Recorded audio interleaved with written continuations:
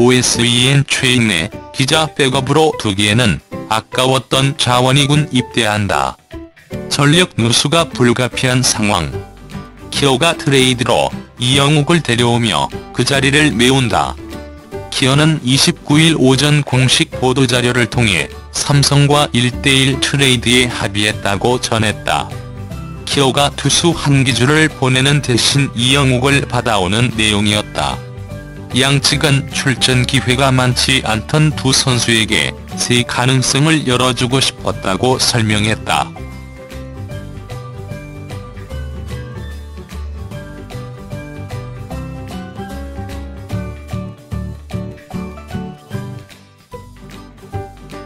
좌투저타 외야수 이영욱은 올 시즌 6경기 출장에 그치며 4타수 무안타를 기록했다.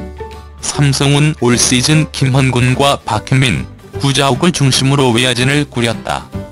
거기에 배영섭, 박한희 등이 백업으로 나서는 형국. 이영욱이 기회를 잡기 힘든 구조였다.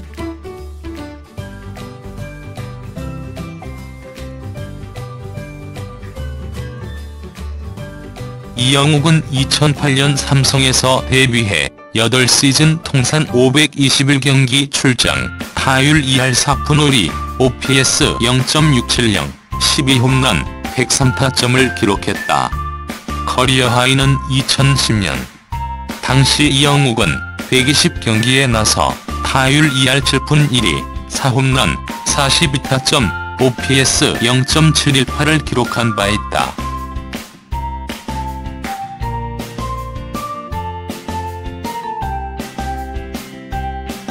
이영욱의 진짜 가치는 타격이 아닌 수비와 주루에서 나온다. 2010 시즌에는 42도루를 기록했으며 2009년부터 3년 연속 두 자릿수 도루를 기록했다. 언제든 나가면 뛸 수 있는 스타일이다. 상무 전역 후에는 발야구를 많이 보이지 않았으나 여전히 활용도가 높다는 평가. 거기에 강한 어깨가 있어 쓰임새가 다양하다.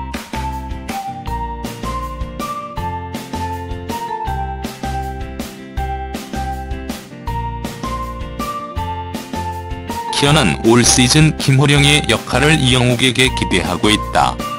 키어는 올 시즌 최형우 로저 버나디나 이명기로 외야진을 구축했다.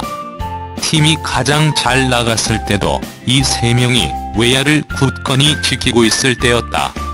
두산과 한국 시리즈에서도 손질은 없었다.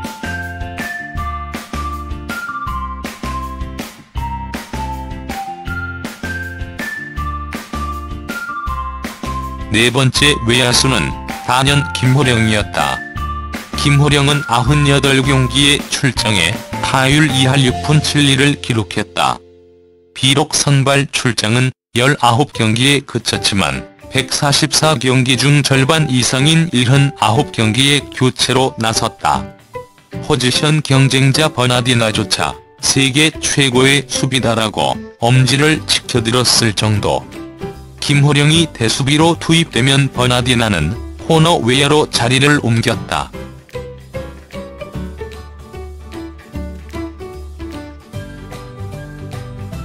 하지만 김호령은 올 시즌 종료 후 경찰 야구단 입대가 확정됐다.